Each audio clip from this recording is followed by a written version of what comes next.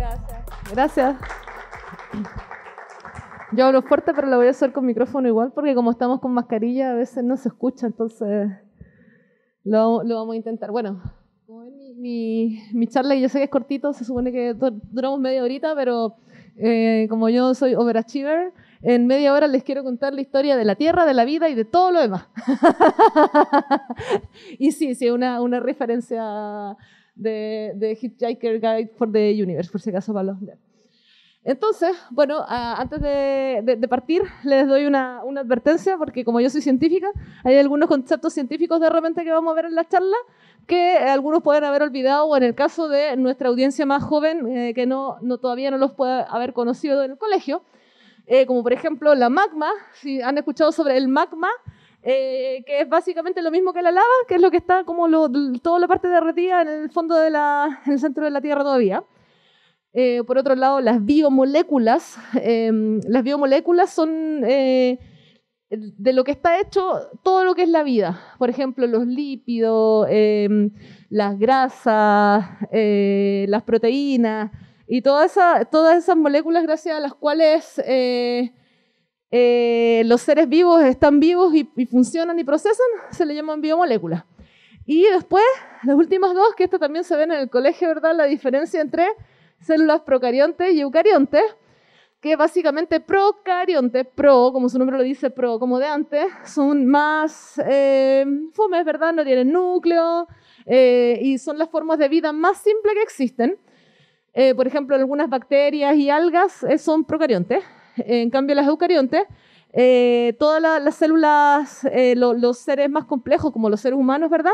Son, estas son la típica célula que vemos así, ¿ve? Por ejemplo, en las, las células eucariontes nosotros vemos, ¿verdad?, que tiene un núcleo, toda la tontera que hay que aprenderse en la escuela, que tú te matáis de la risa que, que se veía todo negro la fotocopia y había que identificarla, bueno.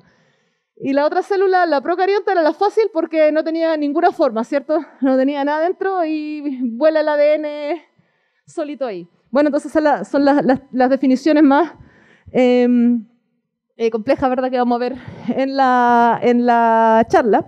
Y la segunda nota, ¿verdad? Es que cada vez que tengamos esta diapositiva así, eh, es por donde vamos a tener las referencias científicas, algún, alguna publicación científica de la cual, ha estado, la cual habla al respecto de lo que yo les hablé.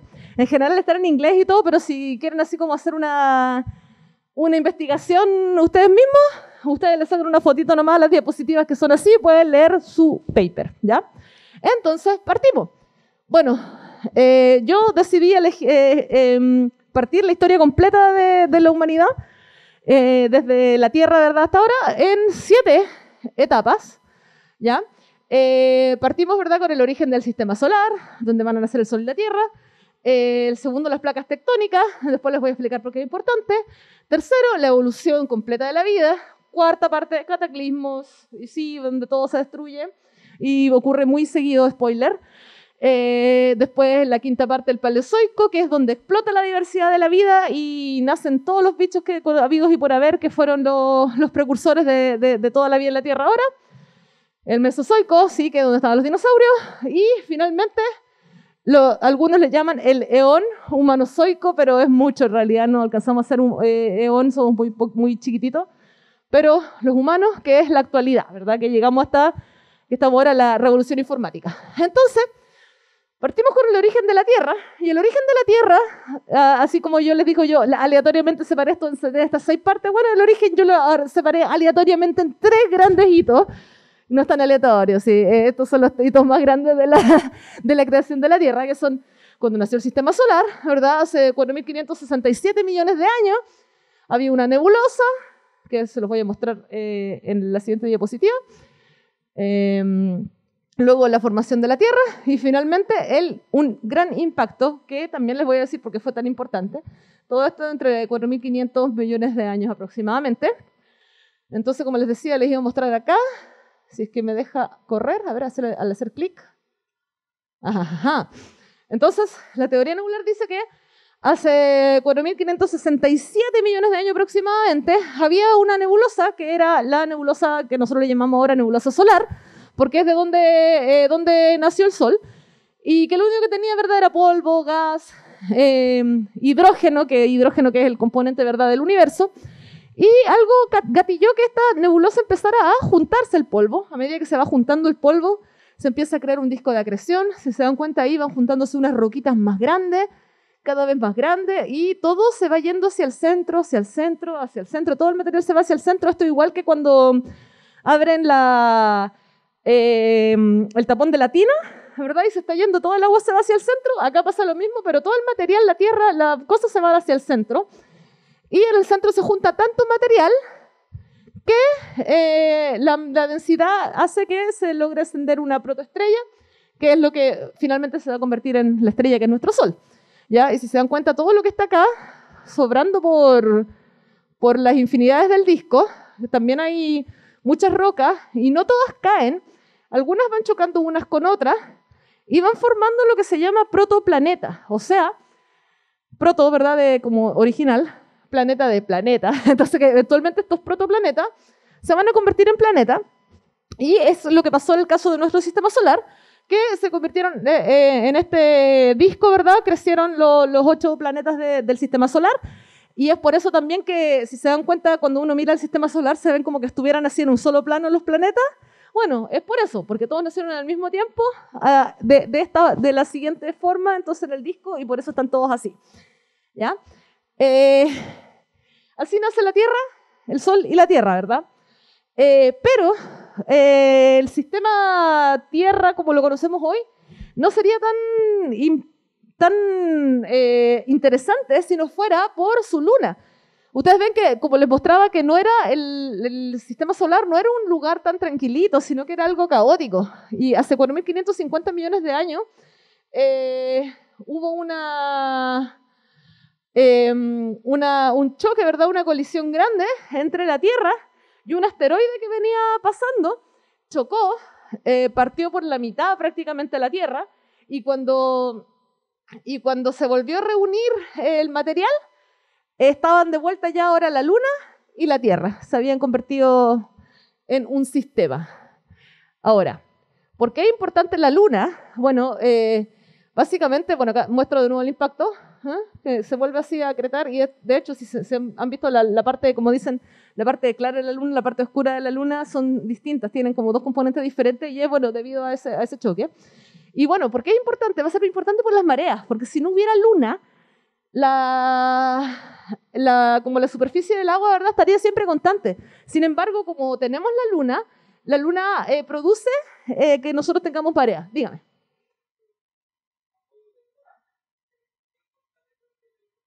La mayoría de los planetas tienen lunas. Em, eh, de los planetas terrestres, solo eh, la Tierra y Marte tienen luna.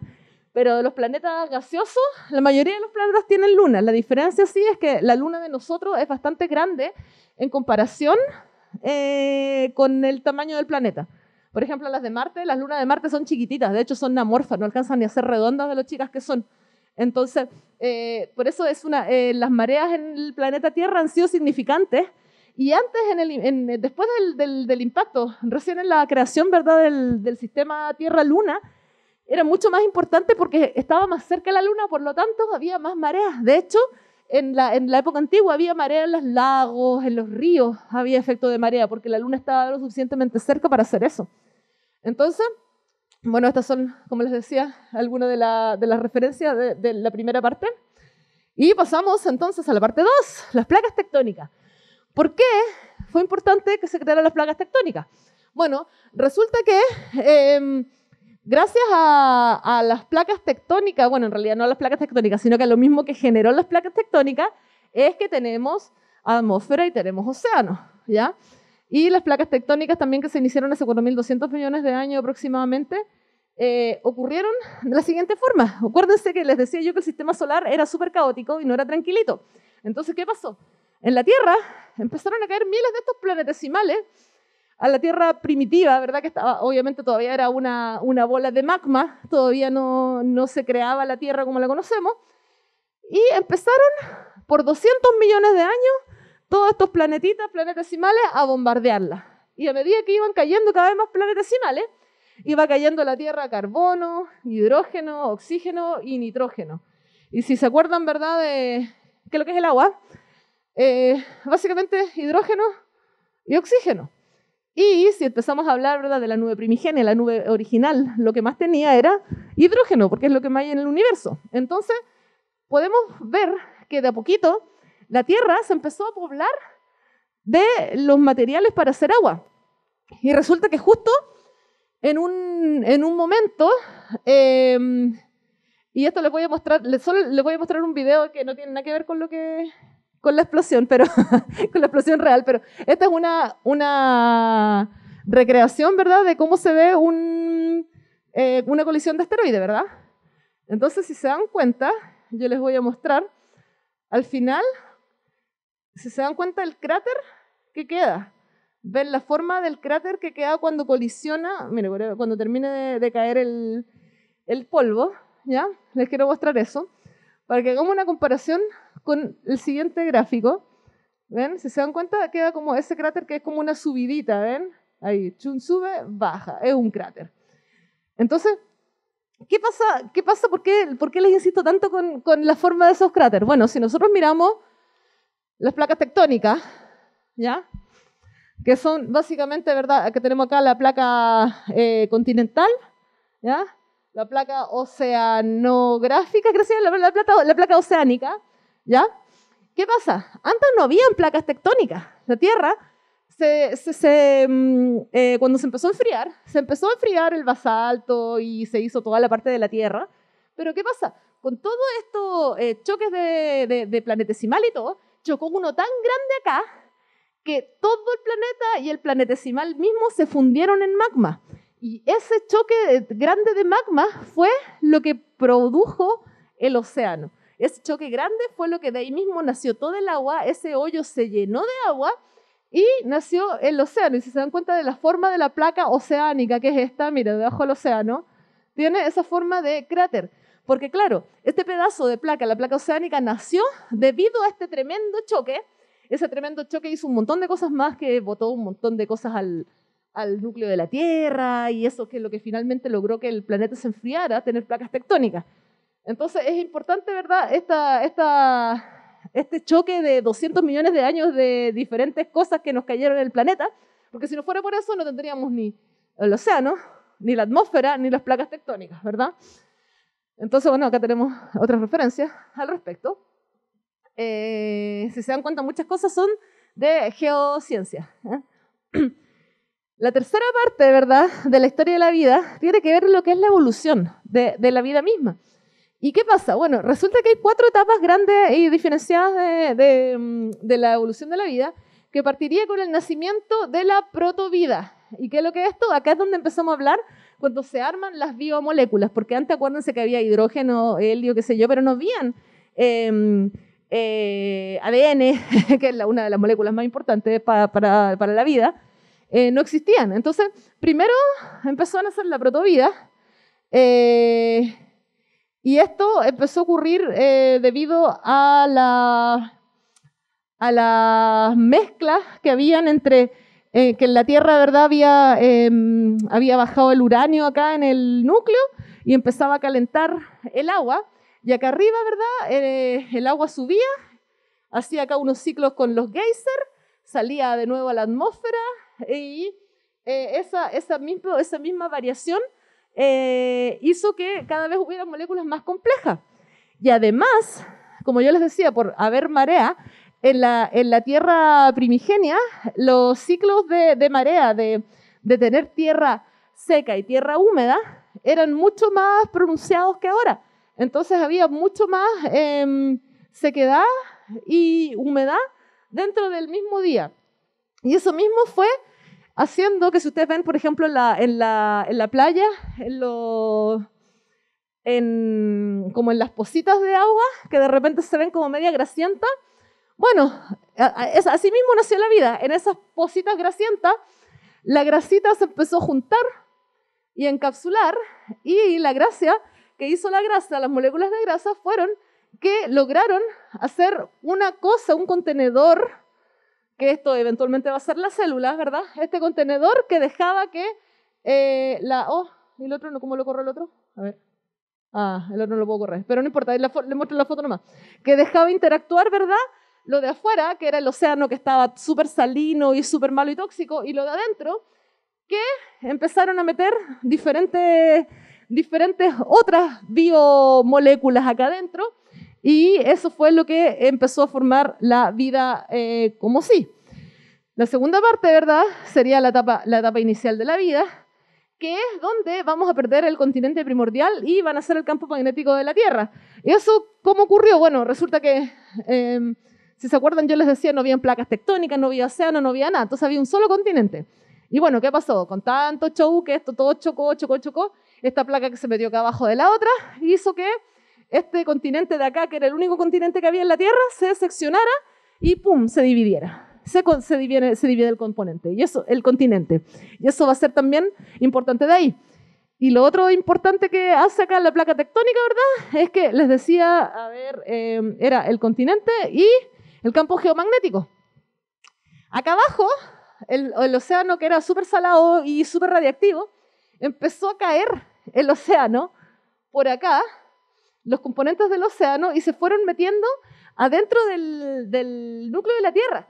Y ahí empezaron a juntarse todos los metales pesados y eso es lo que finalmente provocó que el núcleo de la Tierra se derritiera y hiciera el campo geomagnético, que es el campo que tenemos, eh, que tenemos actualmente, ¿verdad? Em, el campo geomagnético terrestre, y que gracias a eso nosotros no nos llega eh, tanto la radiación solar, ¿verdad? Y eh, podemos ver las auroras boreales, que son la, las caídas de, de las cargas del sol, ¿verdad? En, el norte y el sur, con las auroras boreales y las auroras australes, ¿verdad? Entonces, eh, pero si lo miramos más o menos en contexto temporal, con las mismas etapas que les estaba diciendo, si se dan cuenta, es desde los hace 4.100 millones de años hasta aproximadamente 2.100 millones de años. O sea, son aproximadamente 2.000 millones de años en que yo les acabo de describir en una diapositiva y medio, y además, em, entre medio del primer nacimiento de la protovida, que es una, una de las razones por las cuales la vida empezó de nuevo acá, que se llama etapa inicial de nuevo, es porque después de esto hubo una primera extinción masiva. Luego, después de la segunda etapa de evolución de la vida, que estábamos diciendo acá que era aproximadamente cuando parte la vida, la vida fotosintética, o sea, acá estamos recién teniendo plantas Estamos también con los 20 aminoácidos primordiales, cuando les hablaba de las biomoléculas, estos 20, de estas 20 aminoácidos estamos todos nosotros hechos. O sea, eh, cualquier, nosotros, nuestros aminoácidos tienen que haber sobrevivido una, dos, tres, bueno, de ahí van a contar, pero como dos extinciones masivas. Dígame. No, no venimos de las plantas, nosotros venimos de las biomoléculas y las plantas también. Eh, todos venimos de, las mismas 20 biomoléculas, de los 20 aminoácidos, pero depende de cómo están ordenados. Entonces, acá, y acá la otra cosa importante que pasó en la segunda etapa de evolución de la vida fue que nacieron los organismos procariotes, ya como estábamos diciendo, las bacterias, nacieron por fin las bacterias acá, y además eh, la, se dio origen a las cianobacterias, que después vamos a mirarlas más adelante, que también son importantes las cianobacterias porque las cianobacterias echan oxígeno. Y hasta el momento ahora, lo único, el, único oxígeno que había en, la Tierra era prácticamente el del océano. Entonces eh, no teníamos oxígeno y las plantas, ¿verdad? Toda la, vida se sustentaba de qué calor? Del calor de los geysers y de la radiación del centro de la Tierra. Hasta acá. Y luego, después de la segunda extinción masiva, eh, vino la tercera etapa de evolución de la vida y acá por fin empiezan a aparecer los vertebrados. Y acá recién, cuando estamos mirando en, escala de temporal, hace 2.100 millones de años, o sea, 2.000 millones de años desde que partió a evolucionar la vida, recién tenemos los primeros peces, por ejemplo. Un vertebrado, si, si es que. ¿ya? Si recién empezamos acá a tener la tercera etapa de evolución de la vida, que son los peces que empezaron a nacer debajo del hielo después de que ya se extinguió todo de nuevo. ¿Ya? ¿Alguna de las referencias de dónde sacamos esta información? Y llegamos a la era cataclísmica, eh, que desde hace 1900 hasta aproximadamente 600 millones de años atrás eh, tenemos una extinción masiva tras otra. Porque resulta que justo... ¿Va? ¿Por qué no lo puedo poner? Eh, oh, ¿Todos los demás anduvieron esta no quiere?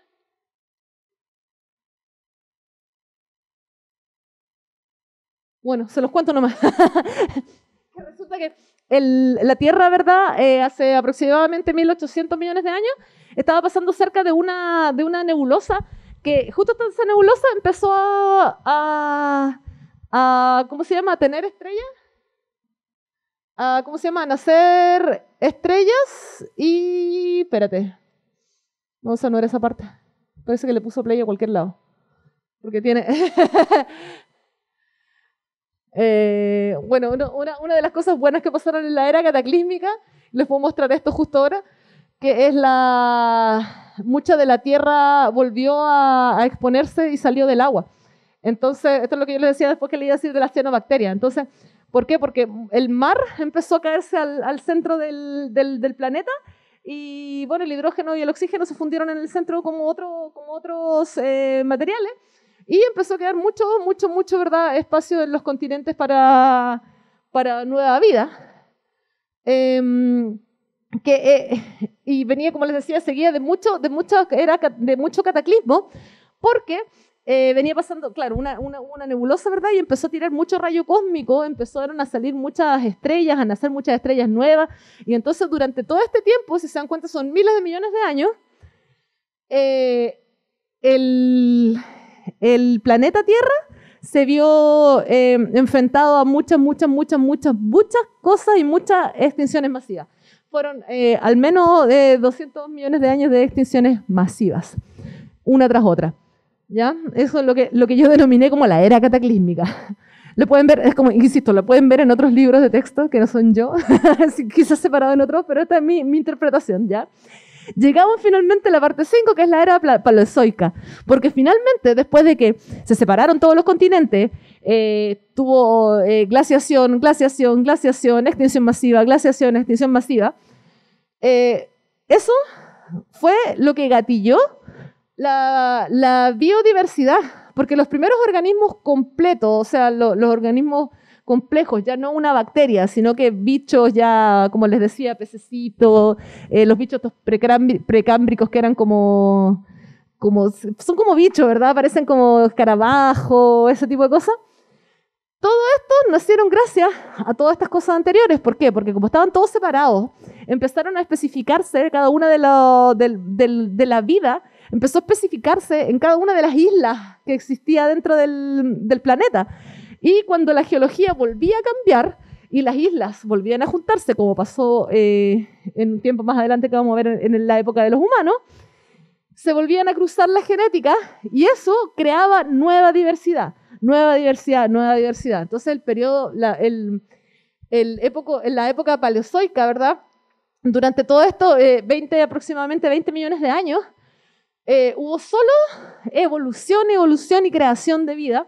Y de hecho, eh, durante estos 10 millones de años, eh, fue cuando creció esta coevolución entre las plantas y los insectos. Que, mm, que como ustedes pueden ver, ¿verdad? los insectos y las plantas se parecen mucho, evolucionaron juntos y son, son, eh, son co simbióticos, no, ¿cómo se dice? Co que cooperan unos con otros, ¿verdad? La planta alimenta al insecto y el insecto a la planta.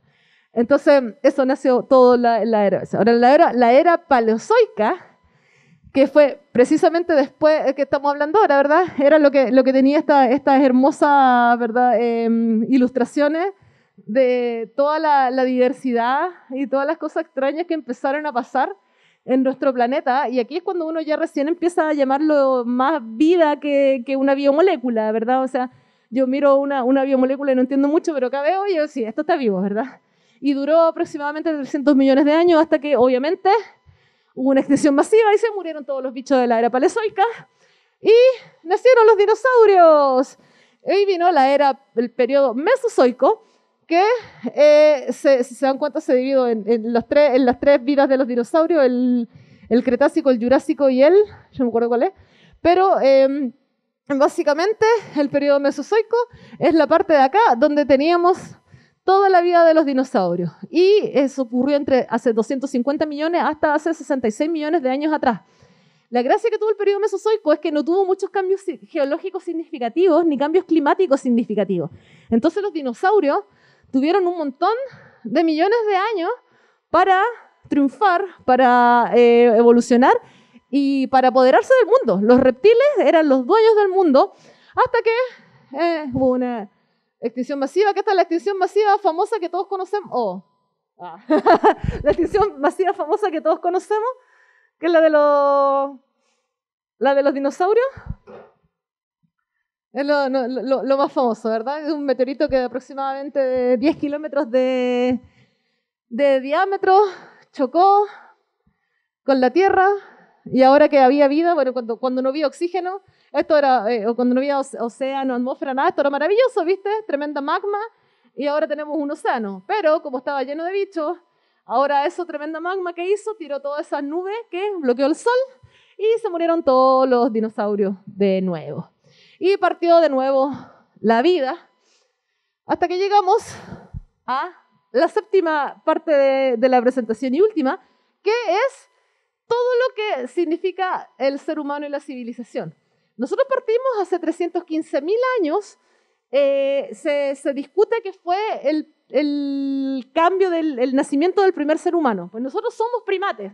Los primates, ¿verdad? Que dentro de los primates están los monos, los simios, etcétera, todos los monos del viejo mundo, del nuevo mundo. Nosotros de ahí venimos, hace, hace como 315 millones de años nuestra especie salió de una de esas ramas de ese arbolito y se ha mandado, si se dan cuenta, uno de, los resúmenes más grandes, porque todos eran de dos, de tres puntos, este es de seis. Solo en 300 millones, en 300 mil años, porque ni siquiera alcanzamos ni un millón, en 300 mil años, nosotros pasamos a ser de, de, ser primates a ser ser humano, o sea, a tener un cerebro desarrollado. La revolución agrícola, que fue lo que permitió que se, se pudieran asentar la ciudad, dígame. No, los cerebros de los dinosaurios no eran tan grandes como los de los seres humanos. De hecho, los seres humanos eh, tuvieron eh, dentro de su evolución tres grandes eh, etapas en las que el cerebro humano creció desmedidamente en comparación con, su propio cerebro antiguo y con el resto de los animales somos el único animal que su cerebro creció y se desarrolló tan rápidamente en tan poco tiempo. Están linkeados, de hecho, algunos estudios que están linkeados ese crecimiento con actividad, actividad volcánica. Entonces dice que puede haber sido como una, como una reacción a, estos tipos de cataclismos grandes. Entonces, claro, tuvo que, tuvo que sobrevivir el más inteligente nomás. Aproximadamente, es como, como la idea, ¿verdad? Sí, por eso evoluciona tan rápido el ser humano. Bueno, pero venimos con la revolución agrícola, ¿verdad? Que parte porque pueden ellos em, eh, cultivar, cosechar y tener eh, animalitos, ¿verdad? Eso fue hace aproximadamente 10.000 años. Hace 5.000 años, ni siquiera tanto tiempo, fue la revolución urbana, cuando los humanos empezamos a hacer ciudades y a hacer civilizaciones. Después de eso vino la revolución religiosa. ¿Por qué? Porque al tratar de hacer ciudades, etcétera, etcétera, que empezaron todos a pelearse unos con otros porque esa ciudad es mía, no, esa es mía, esa es mía, esa es mía. Llegó la religión y dijo, vamos a poner a los reyes acá, acá y acá, y separaron por religión los, los ¿cómo se llama?, los territorios. Eso fue hace como 2000 años. Luego vino la revolución industrial, que eso fue hace como 300 años, ¿verdad? Que partió con Newton diciendo, estas son las leyes del universo, y terminó con eh, la revolución francesa y todo el mundo cortándose cabeza. Y llegamos al presente, que es donde estamos ahora, que es la revolución informática que partió con la creación del, del computador y del Internet, en la que ahora todos, uh, todo, todo, absolutamente toda la información que existe está al alcance de nuestro dedo, en el teléfono, el momento que nosotros queramos. Todo, en cualquier momento, en cualquier lugar, a cualquier hora, lo tenemos disponible y eso es lo que le llamamos ahora la revolución informática. Si se dan cuenta, esto pasó desde hace 315.000 años, ¿ya?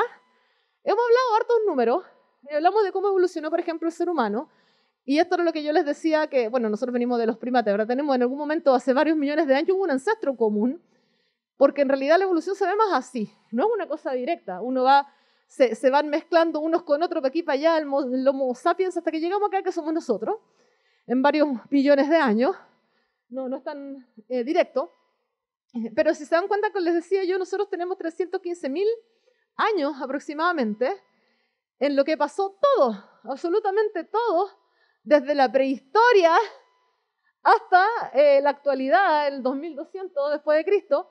Eh, si nosotros miramos el tiempo que pasamos en distintas etapas, el mundo pasó en diferentes etapas. Bueno, eh, la, etapa más grande eh, es la evolución de la vida, el tiempo en el que más se demoró el universo, ¿verdad?, en, en, en hacer funcionar la vida. Eh, la segunda más grande son los cataclismos, o sea, estuvo casi, casi la mitad del tiempo que estuvo haciendo la vida destruyéndola. El nacimiento del sistema solar es aproximadamente un 0,2% de esa rayita que está ahí. Y el periodo humanozoico que le llamamos acá, ni siquiera se ve. El periodo humanozoico es tan chico que si estamos comparando por miles de millones de años, es 0.00003 del millón de años. O sea, ni siquiera alcanza a ser un 1 en esta escala. Y aún así, en menos de 300.000 años, en menos, de, en menos del 1% del tiempo que tiene la Tierra, eh, nos la hemos arreglado para dejarla así. y ojalá que, que, la, que de estos 4.500 millones de años que se demoró el universo en, en regalarnos a nosotros nuestra conciencia, nuestro cerebro y nuestra capacidad de pensar, de preguntarnos y de entender de dónde venimos, podamos también entender hacia dónde vamos y, y logremos, ¿verdad?, todos poner un poco de nuestra parte para que eh, duremos esos, esos 300.000 años, ¿verdad?, no sean, no sean el final de, de nuestro planeta. Y eso, el fin.